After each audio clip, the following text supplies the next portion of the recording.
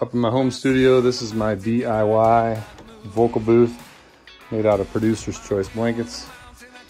I can record vocals while I'm sitting down on the keyboard or while I'm standing up. It's got pretty much everything I need to record parts. Let me know if you want to know how it's built.